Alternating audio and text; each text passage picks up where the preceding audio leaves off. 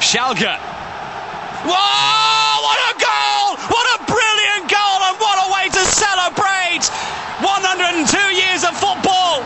Levan Kobiashvili knocks in an absolute scorcher to make it 2 0. And that was a beauty.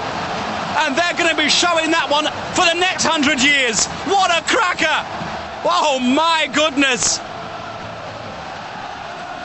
Levan Kobe Yash Vili makes it 2 0. And Oliver Kahn was just as